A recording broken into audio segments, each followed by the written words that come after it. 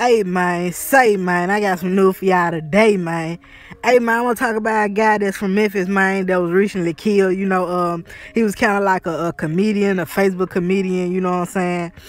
And um, his death just went viral because you know he he he was killed right after making jokes about Young Dolph on Facebook on the day that Young Dolph died you know, and he was kind of making jokes like, you know, the next day and the day after that, he was just making little jokes, but, you know, uh, it didn't seem like he was just dissing Dolph. He was just making a mockery out of the situation.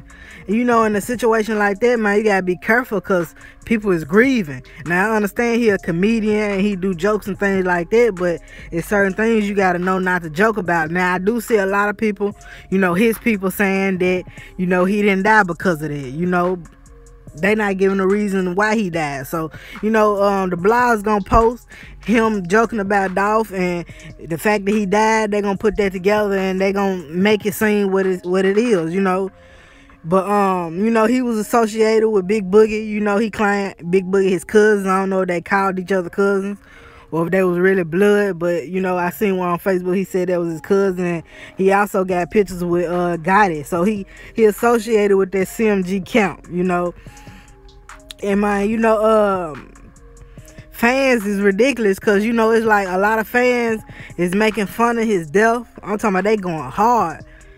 And they doing the same thing that he did. They doing doing worse than what he did with Dolph. So it's like two wrongs don't make a right. Some people feel like he deserved it because he made fun of Dolph and he joked about Dolph but i feel like two wrongs don't make a right. And playing playing with the dead is just something you don't want to do you know, um, because that karma gonna always come back. So all them fans in the comment, you know, fan gotta realize, man, these rappers is not people you you you don't know these rappers.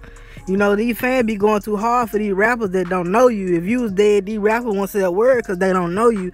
So I don't understand why fans go so hard. It's okay to feel some type of way if a rapper die or, you know saying, to, um, you know, give your condolences to the family. But the way these fans be idolizing rappers and celebrities is weird. You know what I'm saying? But, you know, man it's just a sad situation, man. But you know, RP to D Money, man, and you know, y'all tell me what y'all think about this situation in the comments. I'm gone.